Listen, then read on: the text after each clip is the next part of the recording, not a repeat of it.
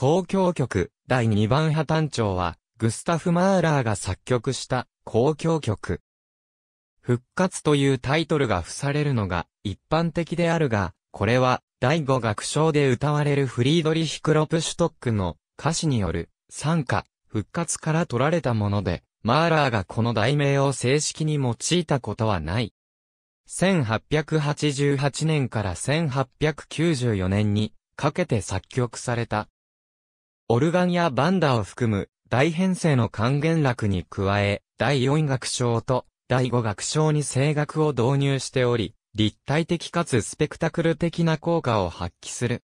このため、純粋に演奏上の指示とは別に、別動体の配置場所や読唱者をいつの時点で、ステージに招き入れるか、合唱隊をいつ起立させるかなどの演出的な要素についても指揮者の考え方が問われる。第4楽章では、マーラーが1892年に完成した歌曲集、子供の不思議な角笛の歌詞を採用している。続く、交響曲第3番、交響曲第4番も、子供の不思議な角笛の歌詞を使っていることから、これらを角笛三部作としてくくることがある。演奏時間約80分。1888年3月、マーラーは、後の交響曲第1番となる、交響詩を完成させると、5月には、ライプツィヒ市立歌劇場の職を辞して、故郷のイグラウに戻った。10月1日には、ブダペストのハンガリー王立歌劇場の音楽監督に就任した。マーラーが新たな楽章の作曲に取り掛かったのは、イグラウにいた6月のことである。曲は8月に、ほぼ完成、9月に、プラハで上書された。この楽章の自筆送付の表紙には、総例と書かれているが、その下には削除された、公共曲破綻帳の表示が残されており、さらに1、ザッツとされている。これは、この曲がはじめ公共曲の第一楽章として構想され、後に表題が書き換えられたことを示すものである。マーラーは同じ年に子供の不思議な角笛に出会い、これにも作曲を開始している。この年マーラーは、11月に、公共詩を初演するが、失敗。マーラーは曲を改定する必要を感じたとみられる。この間、新たな楽章は、マーラーの手元に置かれたままだった。一方、式においては、ワーグナー作品のハンガリー初演やモーツァルトの歌劇の上演で評価を高めたが、歌劇場新監督のツヒハクと対立したマーラーは、1891年3月14日、ブダペストを去ることになった。10年契約のところを2年余りで途中、辞職させられたことで、マーラーは多額の保証金を得たという。1891年3月26日、マーラーは、ハンブルク市立劇場の指揮者に就任した。これは、ブダペスト歌劇場の辞任前に打診していたものであった。マーラーは就任直後の3月29日から5月31日まで、ワーグナー作品を中心に取り上げ、3月31日のジークフリート公演を聞いた、ハンス・フォン・ビューロは、マーラーの指揮を絶賛した。10月、マーラーは、作曲済みの第一楽章を、ショット社に送付し、単一楽章の交響詩として出版することを打診した。葬礼の表題は、この時に付けられたのではないかと考えられている。11月には、葬礼をピアノ演奏して、ビューローに聞かせる。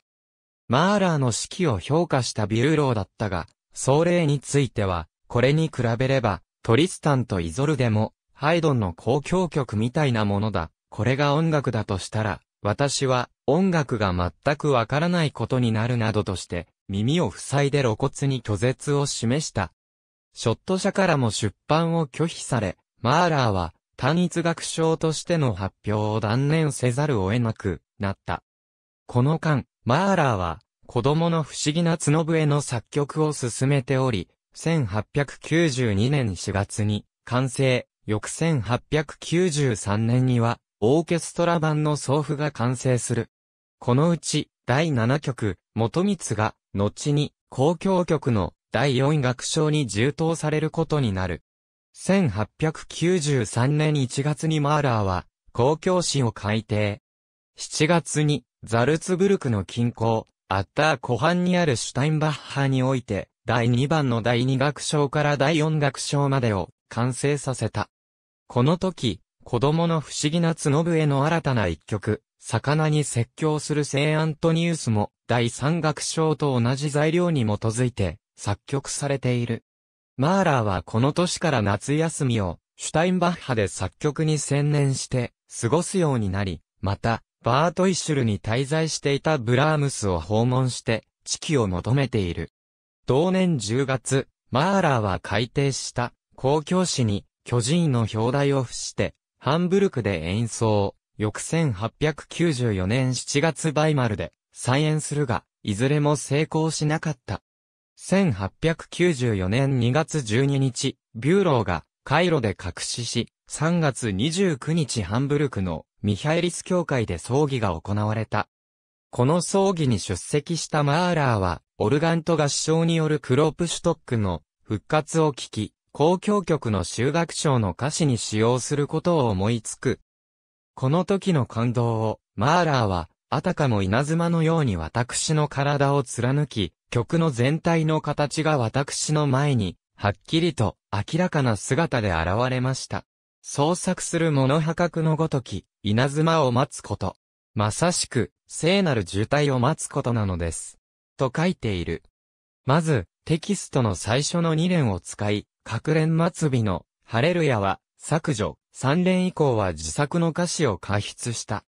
4月に、総例を、小説数短縮、編成拡大などの改定を施して第一楽章とし、6月には送付の下書きが完成する。最終稿が出来上がったのは、12月18日、ハンブルクにおいてであった。1895年3月4日、声楽の入らない第1楽章から第3楽章までをベルリンフィルハーモニー管弦楽団によって初演。演奏会全体の指揮者はリヒャルト・シュトラウスであるが、この曲については作曲者式によるとの断り書きがあり、マーラーが指揮したものとみられる。その夏にはマーラーはシュタインバッハにおいて、交響曲第3番の作曲に取り掛かった。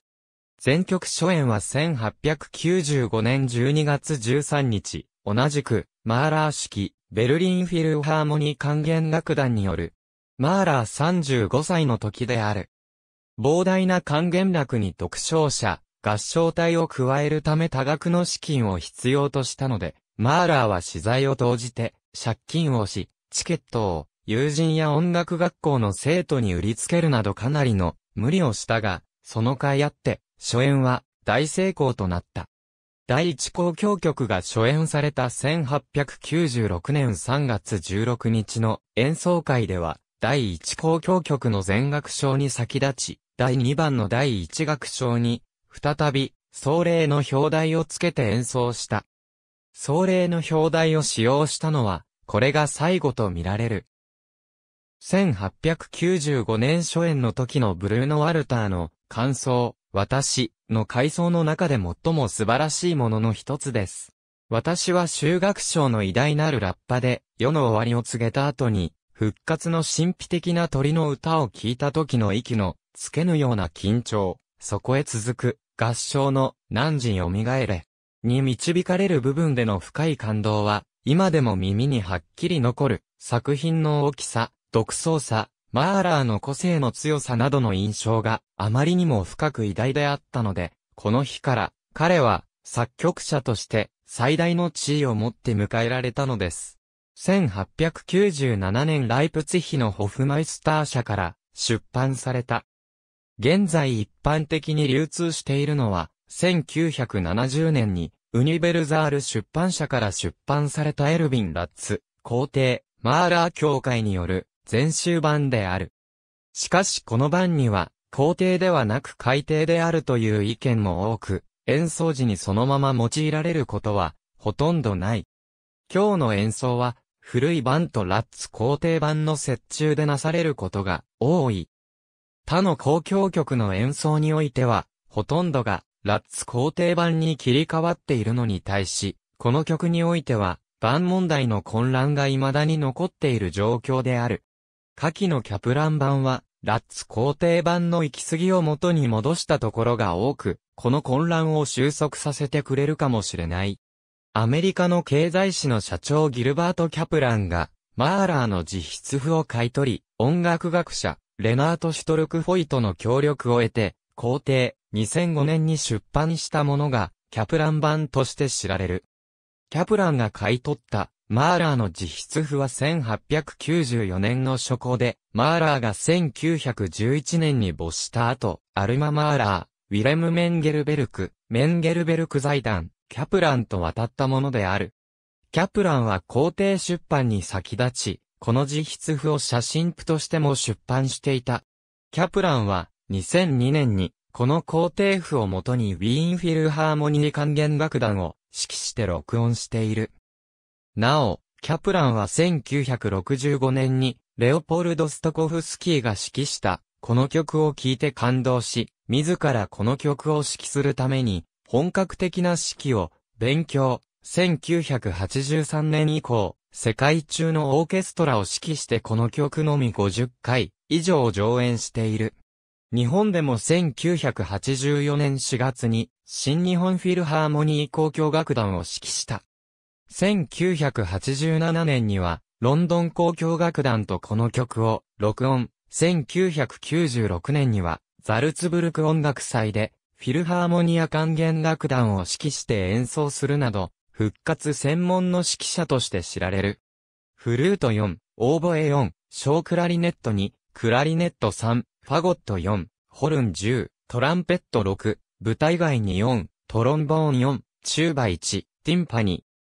二人、舞台外に一台、シンバルに、舞台外に一、タムタムに、大太鼓、舞台外に一、小太鼓一以上の複数、グロッケンシュピール、鐘、ルーテ、ハープ二台、オルガン、言語部、ソプラノ読章、アルト読章、混声合唱スケルツォ楽章を中心とした対照的な語楽章配置が見られ、マーラーの交響曲として代表的な構成である。演奏時間は通常80分前後だが、オットー・クレンペラー式でも早い演奏だと1950年のシドニー交響楽団とのライブ録音で68分、遅い演奏だと、同指揮者の1971年のニューフィルハーモニア管弦楽団との録音で99分というのが有名である。後にマーラーは全曲について表題的な説明を残しており、以下に示す。アレグロマエストーソ真面目で荘厳な表現で一貫して、破単調4、4拍子ソナタ形式弦のトレモロの上に、低弦が荒々しい第一主題を出す。早々更新曲風に進行し、徐々に熱気を帯びて、金管やシンバルを加えて発展する。計画の後、第二主題が、補聴調で、バイオリンで提示される。同型に満ちた、祈るような順次上行が、特徴的だが、第一主題に遮られ、小決尾に入る。ホルンと低弦による三連符を含む特徴的なリズムを経て、金管がコラール風の主題を奏して第一主題と絡めて発展する。ホルンと木管が残り、早々更新曲風の曲奏に戻り、ハープが残って、定時部が閉じられる。展開部は大きく二つに分かれ、前半はバイオリンが美しく、第二主題を奏でて開始される。始まって、小決尾やリズム動機を扱う。再び第二主題が、フルートやバイオリンソロに現れると安らかになって静まる。それが第一主題の動機により打ち破られるところから、後半に入る。ここでは、主に第一主題を扱う。ホルンにコラール風な旋律が現れるが、これは修学賞で重要な役割を果たすことになる。小決日の同期で叩きつけるようにクライマックスを築いて展開部が締められる。再現部はほぼ型通りだが、オーケストレーションや進行は変えられている。第一主題は、発展が省略されて、計画に遮られ、そのまま、第二主題が続いて消えるように再現部が終わる。コーダは小決日の早々更新曲で暗鬱に静まっていくが、トランペットが半音加工して調和音から単和音に移行し、最後は半音階的に崩れ落ちるように終わる。この第一楽章では、表紙変更が全くなく、4、4拍子で貫かれている。演奏時間は19から25.7分程度。第一楽章終了後に、少なくとも5分間以上の休みを置くことという指示があるが、現実的には、この指示通りになされることは少ない。第一楽章の後に、ソリスト、合唱を入場させて、時間を取ることもある。この指示は指揮者を信用しないというマーラーの強い信念が関わる。アンダンテモデラーと極めてくつろいで、急がずにヘニ長長3、8拍子アババの形式主部は、弦による、舞曲風な主題で、落ち着いた表情と、伸びやかな雰囲気を持つ。中間部は三連符の弦の刻みに乗って、管楽器が歌う。路長長だが単調に傾いている。二回目の主部は、チェロのおおらかな対戦率が加えられており、中間部の再現はオーケストレーションが熱くなっているなど、単純な繰り返しが避けられている。最後の主部の再現では、弦楽器のピチカートとなる。演奏時間は8から13分程度。スケルツォ静かに流れるような動きで、破単調3、8拍子3部形式主部は、ティンパニの強打に続いて、バイオリンが滑らかに上下する主題を出す。中間部では、低弦が歯切れの良いリズムを刻み、管楽器が快活な主題を奏する。主部の再現はより自由に進行する。決備では、中間部の主題が現れ、爆発的に盛り上がったところで修学賞を予告する。子供の不思議な角笛の歌曲、魚に説教するパドバの聖アントニウスと同じ材料で作曲されており、両者はソーセージのような関係にある。また、中間部の主題はウィーン音楽院でのマーラーの親友で、近年再評価が進んでいる、ハンスロットの公共曲第1番補聴長第3、楽章の第1主題からの引用の可能性が指摘されている。ルチアーノ・ベリオのシンフォニア第3楽章はこの楽章をベースにして、古今東西のクラシック音楽をその上に引用している。演奏時間は9から14分程度。元光極めて早朝に、しかし素朴に変に蝶々を4、4拍子3部形式、子供の不思議な角笛の第7曲、元光から取られた。赤い、小さなバラ用 ORS、チェンロットと、アルト読章が歌う。舞台外の金管がコラール風の感想を添える。人間はこの上ない苦悩のうちにある。中間部で転調し、読章にバイオリンソロ、木管が絡む。バイオリン独奏とクラリネット演奏時間は4から6分程度。スケルツォのテンポで、荒野を進むようにヘタン調変歩調調4、4拍子、拡大された、そなた形式演奏時間が30分以上にもなる、交響曲第3番の第1楽章よりもさらに長く、休憩時間を除けば、演奏時間にして、全体の4割以上も要する長大なフィナーレで、マーラー流に拡大されたソナタ形式で構成されている。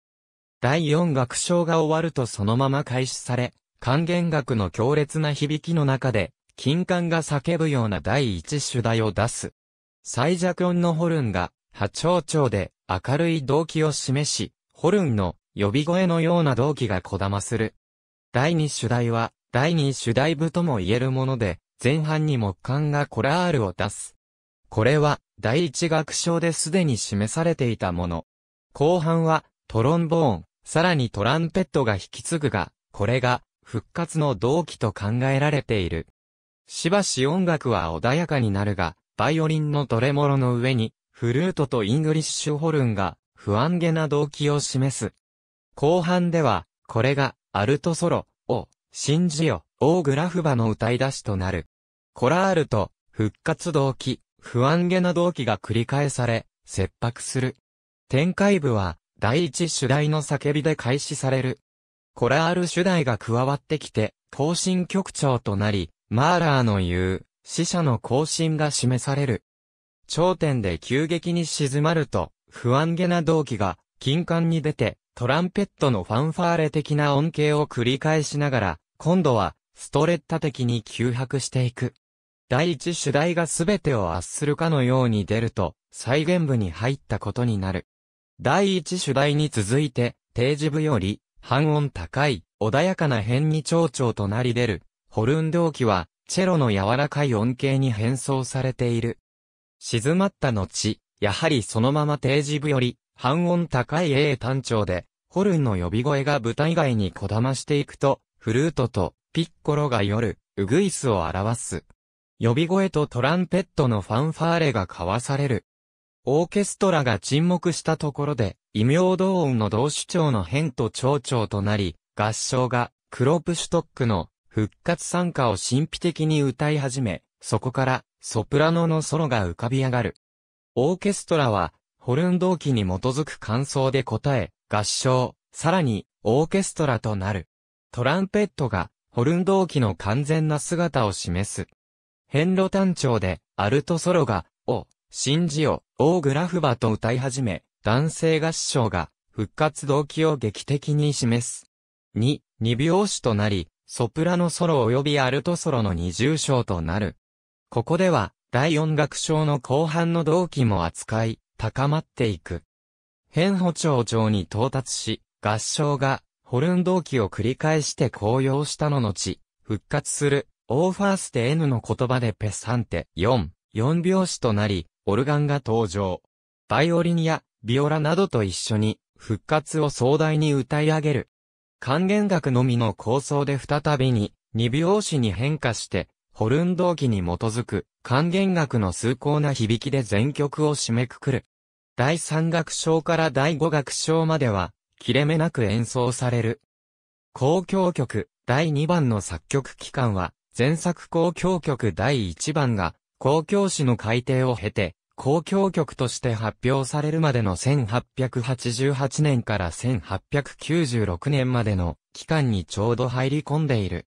マーラーは、最初に書いた楽章を、交響曲破綻調の第一楽章として構想していた。しかし、第一楽章が書かれ、第二楽章のスケッチに取り掛かったところで、作曲は5年間中断された。一時、第一楽章を単一楽章、総例として発表することを考えたが、うまくいかず、その後再び交響曲として、当初の構想に立ち戻ったということになる。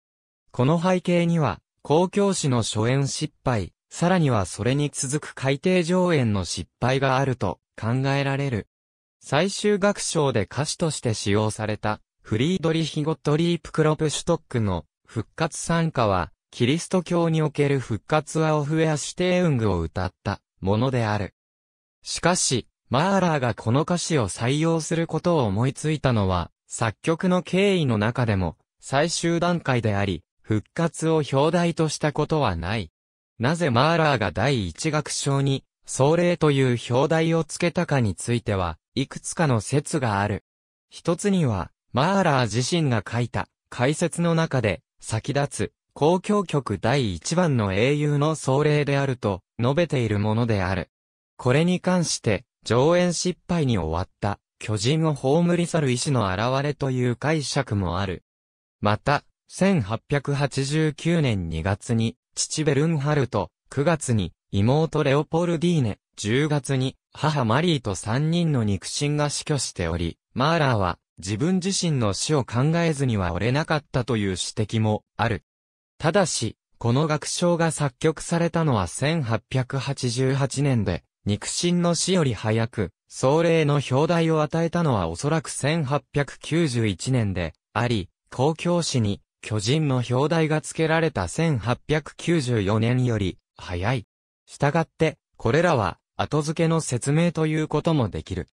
このほか、ポーランドの国民的詩人、アダム・ミツキエビチの劇詩を、ジークフリート・リピナーが1887年に翻訳出版した壮麗に影響を受けたという指摘がある。リピナーが翻訳したミツキエビチの詩編は現代をジェディと言い、1823年に出版された。ジェディは、父祖たちを意味し、父祖の祭りと訳される。これは、リトアニアやプロイセン地方に伝わる、起源を、キリスト教以前に遡る、先祖を祝う祭りを題材としたものである。リピナーはドイツ語への翻訳にあたり、この表題に、 Totenfeier すなわち、葬礼という言葉を当てた。リピナーは、マーラーの親友で、マーラーは18歳の頃からリピナーに感化を受けて、ニーチェの思想を知ったと言われる。マーラーは続く、交響曲第3番で、ニーチェのザラトゥストラは、こう語ったの詩を歌詞として用いている。ニーチェの英語回帰とは異なるが通じるところもある、生と死の輪廻の思想を、壮麗に感じ取ったことが、作曲のきっかけだったというものである。マーラーが修学賞で、クロプシュトックの歌詞に追加した自作の再び生きるために死ぬのだという言葉は、このことを裏付けていると考えられる。ありがとうございます。